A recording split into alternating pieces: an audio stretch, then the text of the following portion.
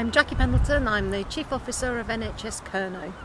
Um, NHS Kernow is an organisation that represents our local GP practices. We've got 59 of them across Cornwall and the Isles of Scilly.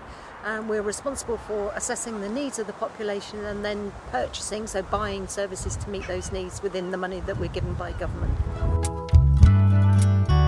Whole range of services from general practice itself in terms of the day to day stuff you're going to get from your GP practice through to um, urgent operations, through to the emergency department at the Royal Cornwall Hospital or at Plymouth. My name's Iain Chorlton. I'm a GP working in Callington in the east of the county and I'm the, the chair of our governing body, which is the, uh, uh, our, our, board of uh, GPs and uh, uh, other members who, are, who want to assure ourselves about how well we're performing here in Cornwall and the Isles of Scilly.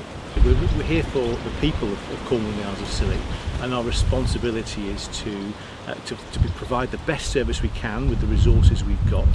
Uh, much of the conversation over the last few years has been all about our finances and our, and our awful financial position and I'm really pleased and proud that this year it's been much more focused on what we do with and for our people and working with our colleagues right across health and social care so our finances have become less part of the conversation. It's around what can we do and how can we do it better. Well, part of the role of the commissioner is, of course, to make uh, difficult decisions, but to be to be seen to be doing the best that we can with the, the resources that we've got. And by resources, I mean the people that we have and, and where they work.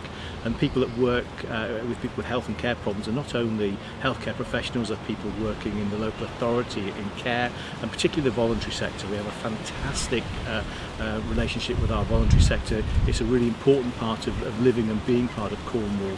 Uh, uh and, and what we've seen over the last year is how services are wrapping themselves around people and their, their, their individual needs in, uh, in the place that they live. And that can't be met just by healthcare or just by social care, but it's met by us all working together and recognising what it is that individual people need.